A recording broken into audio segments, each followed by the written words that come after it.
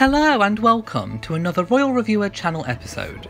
On the 11th of June 2019, the Duke and Duchess of Cambridge are celebrating the work of local heroes, farmers, volunteers, and those supporting the rural community in Cumbria, starting in Keswick.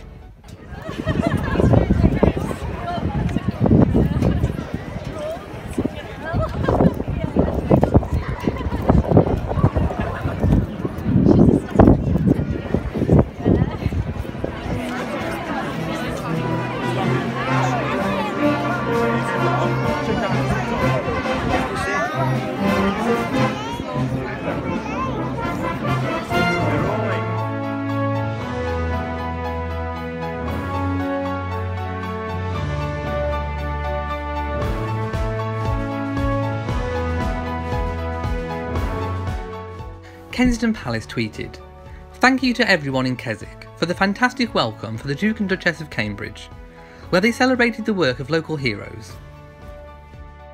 On the evening of the 10th of June 2019, the Duke of Cambridge, royal patron of Child Bereavement UK since 2009, attended the charity's 25th birthday gala dinner.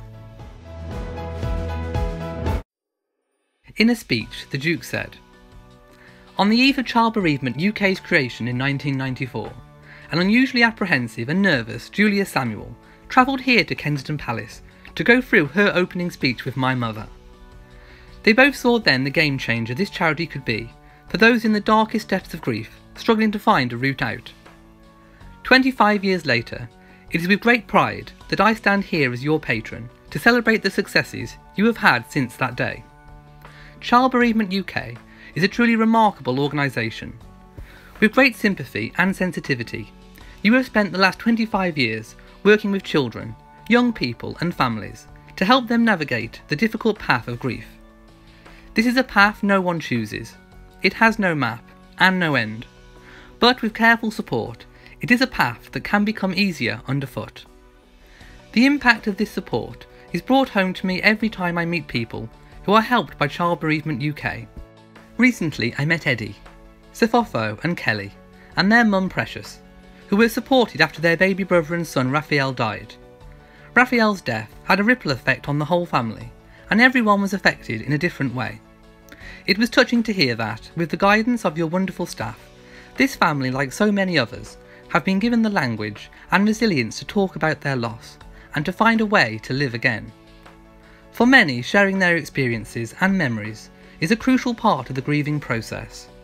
Grief that is most intense in the days and weeks that directly follow a loss, like those affected by unimaginable heartache.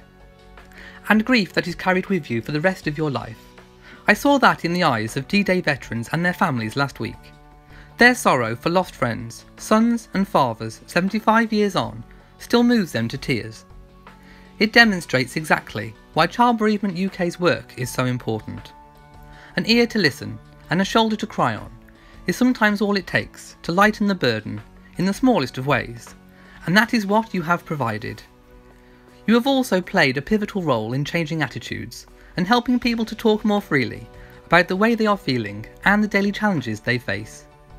By providing professionals and people across the UK with the tools and guidance they need to support friends, family, and colleagues who are bereaved, you are helping to create a support network aimed at providing comfort to those in the most painful situations. And you shine a beacon of light in the darkness as families learn to live with their loss and find hope and laughter again. Child Bereavement UK's transformational work simply wouldn't be possible without the generosity of people like you here tonight. So, from the bottom of my heart, I want to thank you for playing your part in the charity's incredible success over the last quarter of a century. And thank you in advance as you continue to support Child Bereavement UK's vital work with bereaved families for many more years to come. Thank you.